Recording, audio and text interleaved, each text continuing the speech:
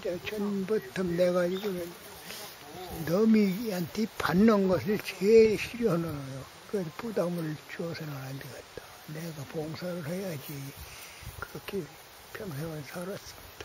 이러기 요새 참 헐떡거리고 그러네. 힘든 때도 있다고. 그러나 옛날에 비해서는 이거 놀게 한 가지.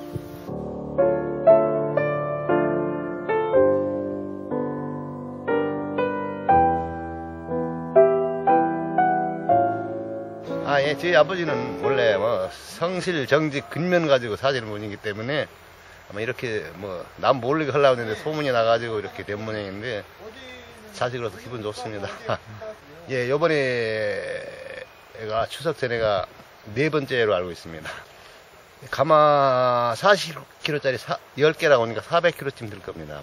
저희는 이제 일단 면 삶아서 기증했으니까 거기서 아마 적당히 잘 배분이 됐을 겁니다.